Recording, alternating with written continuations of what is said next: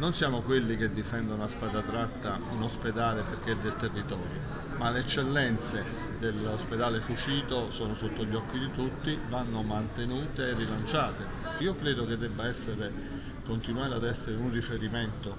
per la comunità e soprattutto mi pare un delitto, ma insomma sono qui anche per comprendere,